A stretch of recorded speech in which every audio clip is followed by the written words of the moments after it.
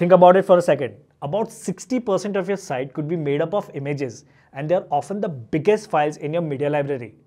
This might sound like a small detail, but it can actually cause a lot of problems. For one, images take up a lot of bandwidth, and when you have too many large files, it can slow down your entire website. Not only does this affect the user experience, but it can also harm your SEO ranking. Search engines like Google take loading speed into account when ranking sites. So the slower your website is, the worse your ranking can be. And the issues don't stop there. Large images also eat up server storage space. This means you might run into storage limits or slower upload speeds when you add new content. But here's the good news.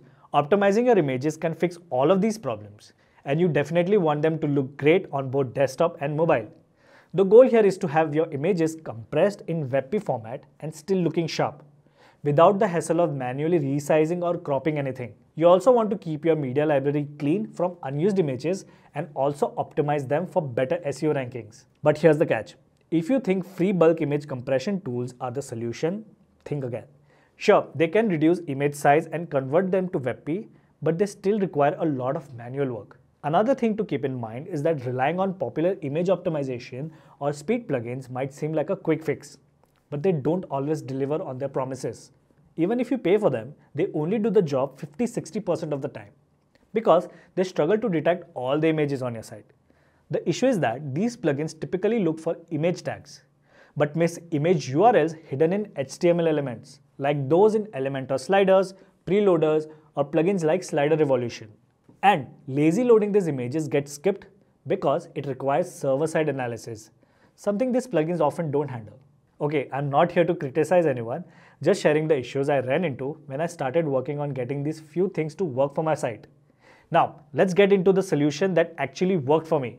So first things first, let's delete any unnecessary or unused images on your media library. Let's install the media cleaner. You'll now see a new option called cleaner under the media menu. Click on it, start a scan, and the plugin will begin analyzing your media library for unused files. Once the scan is done, you'll see a list of unused files. The plugin lets you delete them all at once by selecting delete all or you can manually choose which files to remove. It's up to you how much you want to clean up.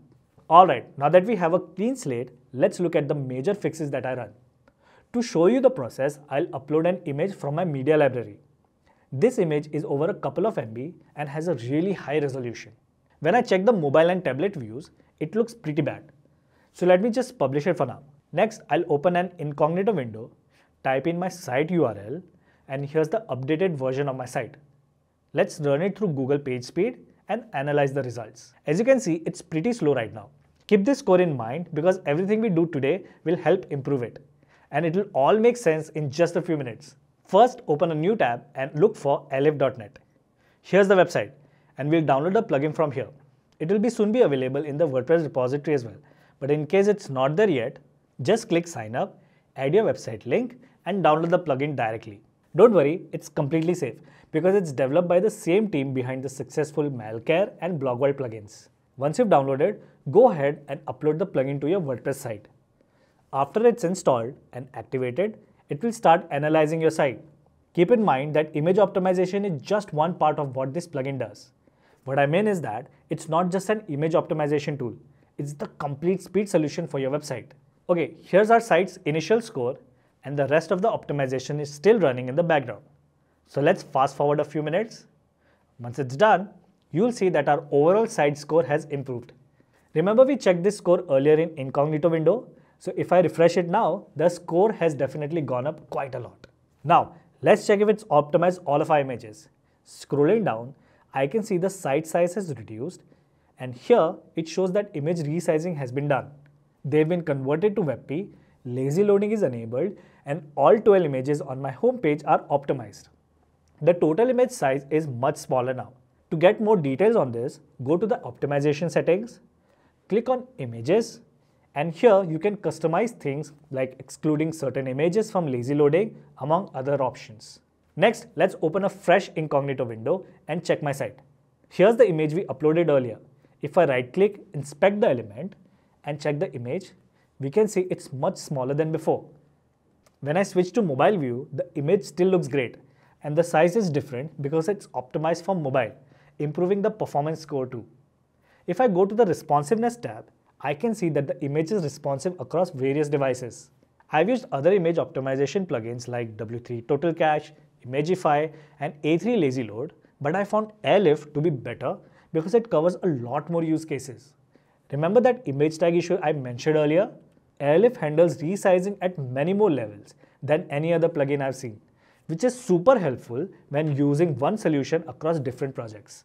Now, whenever I add new images, Airlift automatically optimizes them after a few hours. Or if I want it done instantly, I can go to Quick Actions and hit Optimize. Of course, every site is different and sometimes a theme or plugin might interfere with Airlift. If anything goes wrong, I can just disable it and raise a support ticket, which they reply to within a few hours. Once the issue is fixed, I can easily re-enable Airlift. Finally, here are a few bonus tips for image SEO and performance. When you are uploading images to WordPress, don't forget to optimize them for search engines like Google. Just make sure to rename your image files to include relevant keywords and add alt text that briefly describes the image. This helps your images get noticed by search engines much faster and improve accessibility for everyone. Also, if you use Elementor as much as I do, then make sure to go to the settings window and enable these optimize image loading and lazy load background image options.